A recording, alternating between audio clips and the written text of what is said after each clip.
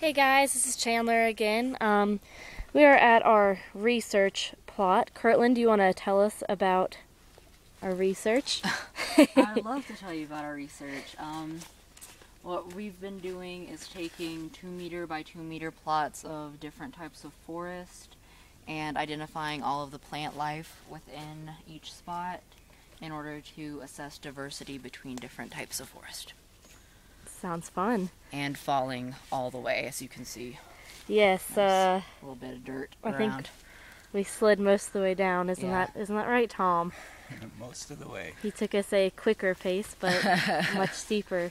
Yeah, but we'll get down faster. Yes, that's true. So uh, we're going to a fish fry tonight, so we will check in later. I caught mine. Second cast. All right, we Brandon- are Brandon's at a trout here. farm fishing. Some of us have already And caught fish, Brandon, but Brandon, Brandon, somebody Brandon, Come on.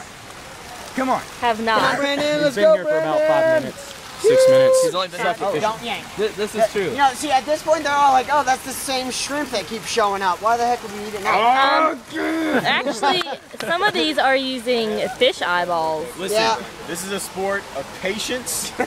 No, not when it's And, a trout Pescado farm. ojos. If it's a I- Um, excuse me, Brandon. detective. Uh, yeah, it's a sport of patience. so patience. yes, so uh, some people are having a lot of trouble catching their fish, and we're gonna eat them later. Are you gonna eat yours?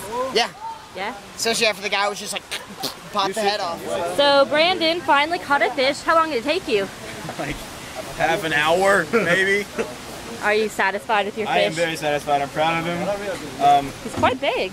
I had to wrestle him down to the ground. he was a fighter. Um, Sounds I very commend him for that. But in the end, you know, fish has got to. I got a fish, and fish has got to go. so